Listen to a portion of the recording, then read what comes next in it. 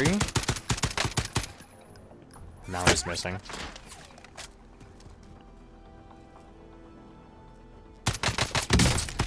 Uh, Fucking no.